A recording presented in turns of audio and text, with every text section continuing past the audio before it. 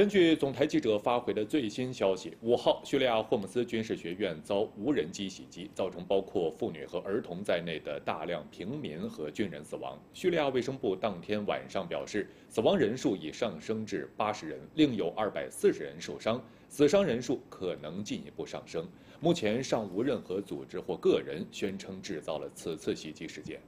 叙利亚军方当天发表声明说，袭击发生时，军事学院正在举行毕业典礼。在典礼即将结束时，武装恐怖组织通过携带装满炸药的无人机发动袭击。叙军方将此次袭击视为前所未有的罪行，将追究袭击策划者和实施者的责任，并让其为此付出高昂代价。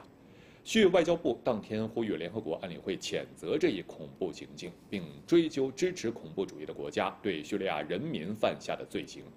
此外，叙政府当天宣布，自十月六号起，全国哀悼三天，悼念在此次袭击中遇害的平民和军人。期间，叙利亚全境驻外使馆和外交机构将半旗致哀。